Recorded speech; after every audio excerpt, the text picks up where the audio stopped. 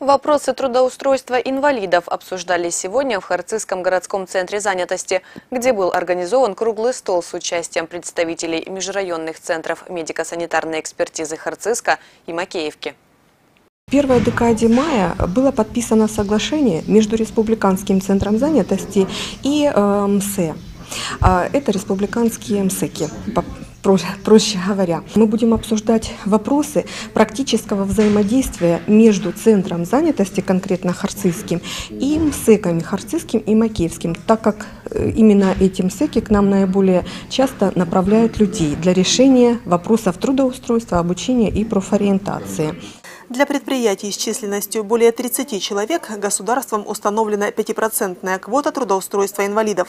В прошлом году только 9 харцизских предприятий и организаций не выполнили эту норму закона. Если они не выполняют эту квоту, они платят обязательные платежи в бюджет за то, что они не трудоустроили инвалидов, не выполнили квоту. Впоследствии деньги, которые будут перечислены работодателями, они поступают в фонд социального страхования на случай безработицы. И в дальнейшем они будут использованы на э, создание рабочих мест для инвалидов. Как правило, работодатели, желающие трудоустроить людей с ограниченными физическими возможностями, подают заявку в Центр занятости с пометкой «Вакансия для инвалида».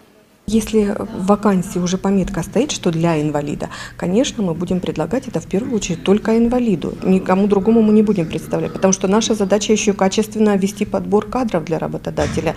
Если работодатель уже выставил эти требования, то не в нашей власти что-то менять и что-то переделывать.